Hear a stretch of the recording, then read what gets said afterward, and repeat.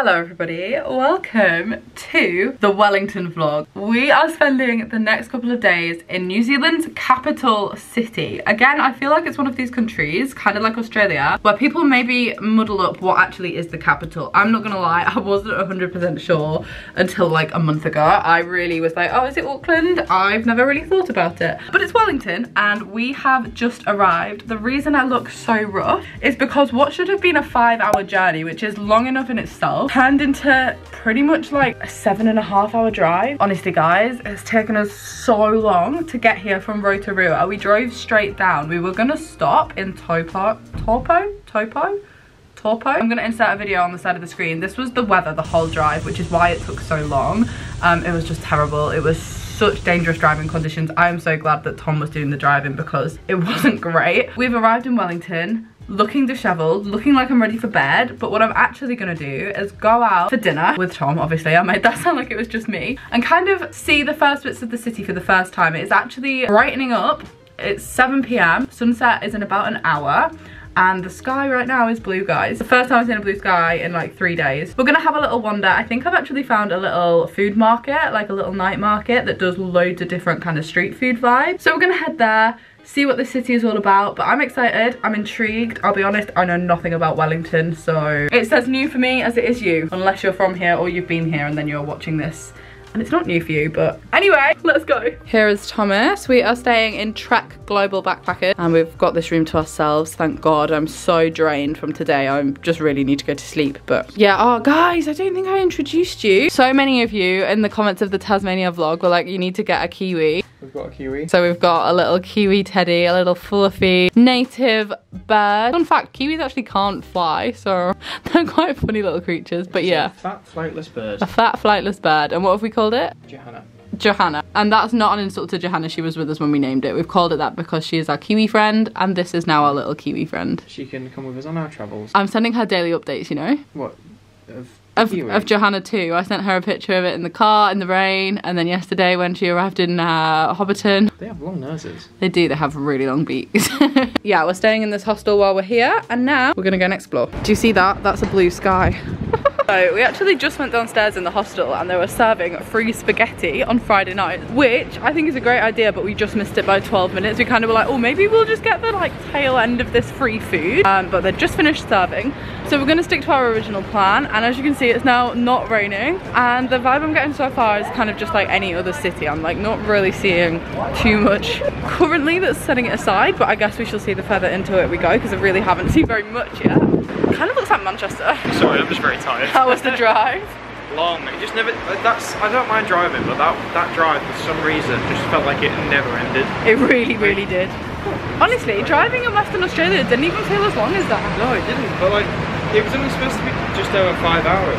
And it was And so long. Like literally the first three or four hours, we were still at about four hours. I'm like, how? Like, No, literally, I swear the clock just didn't go down. didn't. And then there was like an hour added on because there was a road closed as well. Yeah. Anyway, Well, guys, we're we're, not here to complain about the drive. We're here to show you Wellington. Alrighty, guys. So we went to the food market and it was basically closed. There was like two stalls open. So instead, we found a pub because we couldn't agree on what kind of food we wanted at all. Tom wanted like classic pub dinner. I kind of wanted like I kind of wanted like pasta or curry or something. I just couldn't decide. So we settled for the nearest pub and we just sat down here because we are honestly exhausted. So a pub dinner and an early night, I think.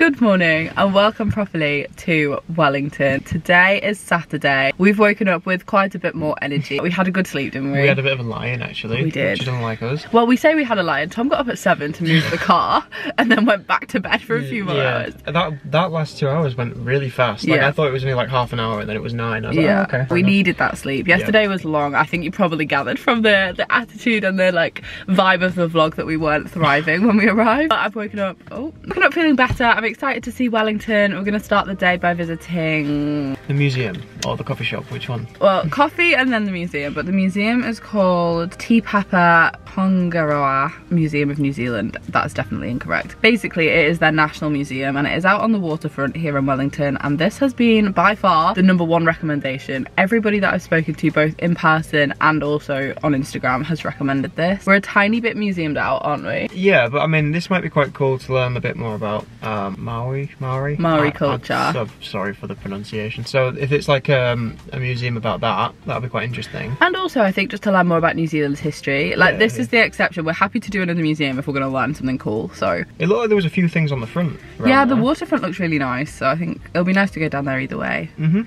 It's better weather today as well, guys. Thank God. And I think there's also like a cable car. yeah, we might do that later. And a museum for the cable car. No more museums. Little car park outfit of the day. The most basic outfit you've ever seen. I've got these jeans on from Cotton On, but they do have flowers on them. And then this top also from Cotton On. And my personal favourite part about this top, guys, is it has little finger holes, like gloves. So it means that my hands stay warmer. And I'm gonna, I'm gonna go out without a jacket, guys.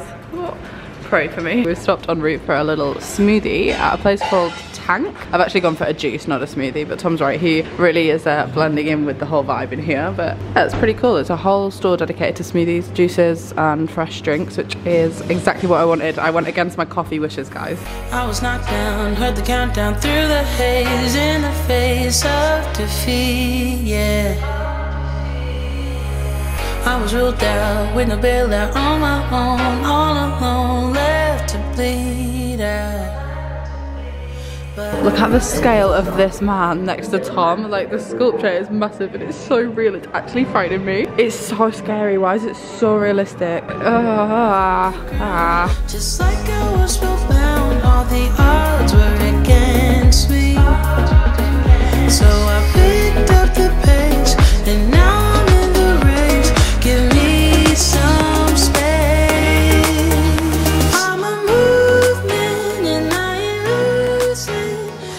come out of the museum and we're gonna have a little walk over to the cable cars, but we're just taking it pretty slow, walking through the city.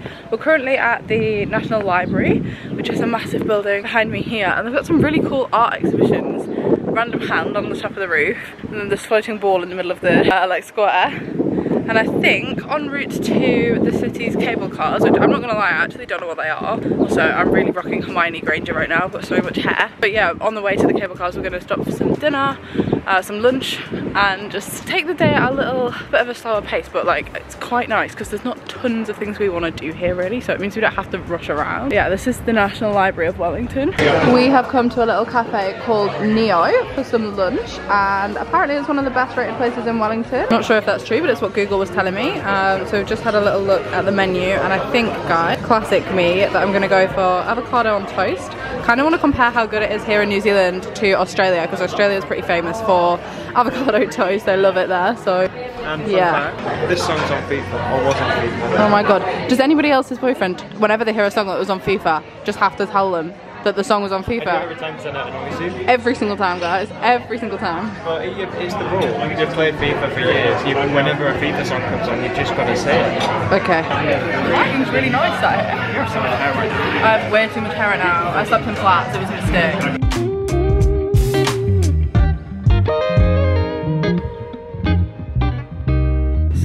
Wellington is famous because, well, it's not famous because of this, but here it has a pretty famous cable car. What are you laughing at? Why? Oh, I should have filmed you. Yeah, you should have filmed me. I think we've done this the wrong way around, basically, guys. Had the biggest, sweatiest strop. No, I wasn't talking stuff, I was just very out of breath. But basically, there's a cable car that runs up the side of one of the mountains. And I think most people probably take it from the bottom up to the top to look at the views. Not us though, we've decided to walk to the top, which is so high. How high up we've actually just walked. Like, I honestly feel like we've just climbed a whole mountain, which I wasn't expecting. but at the top, there is the cable car, which obviously we now can get back down. There is also a museum on the cable car, which I know nothing about. And there's also Wellington's Botanical Gardens. Now, we've kind of made a little bit of an error using today as our main day as exploring because it's actually a Saturday, so everywhere's pretty busy. This is actually really impressive. Kind of reminded me of the one, do you know, in Scarborough, where you can take it down the beach in Scarborough. I thought cable cars were the ones that went across there at all. Like on a. I think that's a stair lift. True, maybe it's not a cable car. But you are right. Let me show you this view though, guys. That is pretty good out across Wellington. All of New Zealand's cities and towns are set in these like gorgeous mountainous backdrops. And it just makes it look so impressive because like, even though the city itself, in my opinion, isn't massively anything special, the backdrop that it's set against is crazy. Oh, here it comes. Nice. Oh yeah, that's not really it. That's a train. So as I just mentioned, at the top of the cable car here is Wellington's Botanical Gardens and Thomas just pointed out this sign that says the Botanic Gardens are being renewed from October 12, hoping to be back open to the public by February 2024. Tom is so happy right now because he hates Botanical Gardens. I'm not. I'm, I feel too bad. You haven't read it properly. It's just, Oh. it's just the play area. Oh, It's the full you actually had been tricked then. I would have literally believed you. Does that mean we have to do it? Brilliant. That means we're going to go and explore the Botanic Gardens. Do you know, like, what is a botanical garden? Why do we just randomly create these Do you know what, go, oh, right? This is a botanical garden. We don't really have these. They're not as oh common in the UK. We just call them like parks. Yeah. I'm pretty sure. Everywhere that we've been in the last six months. I think it's just because they have a lot of like really exotic plants and trees, and I'm sure that London does have them. In fact, isn't Kew Gardens a botanic garden? But what what makes it a botanic botanical like- botanic garden? Like what? Crazy plants. To be honest, I just like them, especially in a big city, because it's nice to be in like a green space. And I will sing Melbourne's botanical gardens praises until the end of time because Melbourne has really nice botanic Sure. gardens. I think if you weren't so obsessed with them, I'm not. I so just like going for a walk around them. Every time there's a botanical garden, like, oh, we'll have to go there. And I'm like, okay. Why are you so miserable? I'm not miserable. We are about to ride the cable car back down into the city. As you can see behind Tom, you've got the ocean, some mountains. It is pretty cool. You know what's not cool? The width of my hair right now, that's not cool.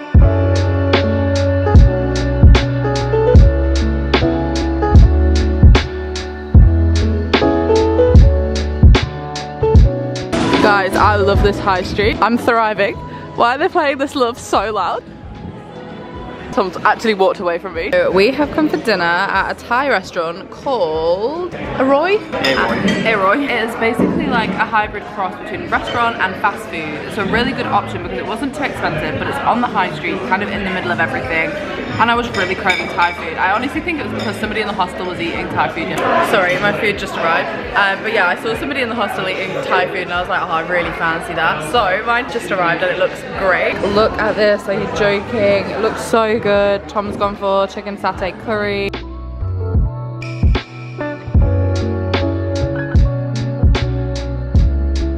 Good morning, it is our final day in Wellington. It's our final morning and finally the sunshine has come out and it is warm. So we have driven to a place called Scorching Bay, which is, which is ranked as one of Wellington's nicest beachy suburbs. And from what I've seen so far, I can confirm this is one of the nicest beachy suburbs I've ever seen in my life and I'm so excited to show you it. We're just gonna have a little wander down the beachfront really. We've only got about an hour. Yeah, it's gonna be a really nice way to end our time in this city, I think. Just look at that. Are you joking? It's beautiful. The only downside is there's some kind of event going on. I think it's like a sale event. I'm not too sure, but all of the car parks were closed. We have driven up and down this stretch for ages trying to park. This is how I imagine New Zealand to look in my head. Like when I was thinking, oh, we're coming to New Zealand, like this is exactly pretty much what I pictured.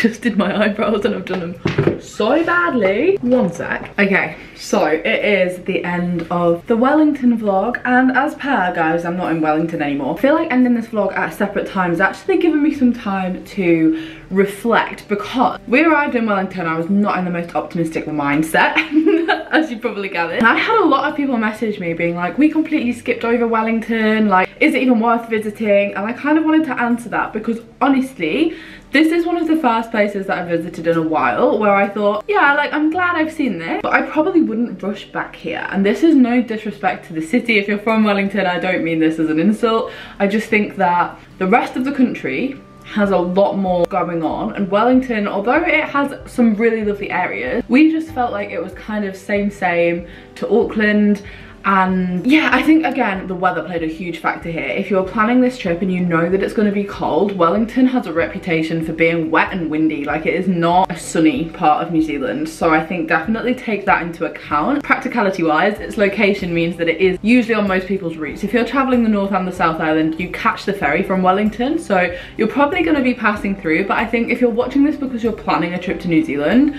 you only really need one day there. And that's kind of a shock to me as its capital city. Wellington is it worth visiting? Maybe for a small amount of time.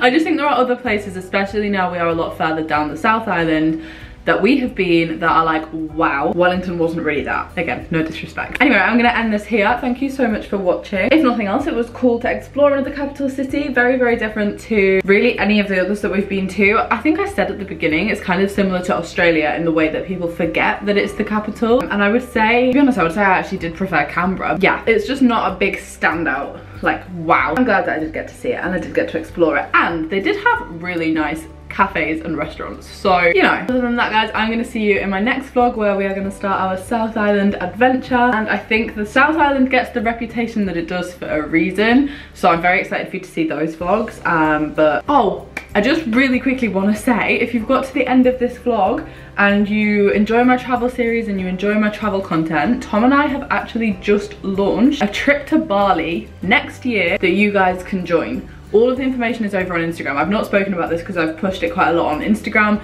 I feel as though if you do follow me over there, you will have seen it. But if you don't, definitely, definitely check out my Instagram page right now because the trip has just gone on sale and you guys could actually join us in Bali next July. All the info is over there, but yeah, I thought I'd just mention it at the end here. Other than that, I shall see you guys in my next video. Bye!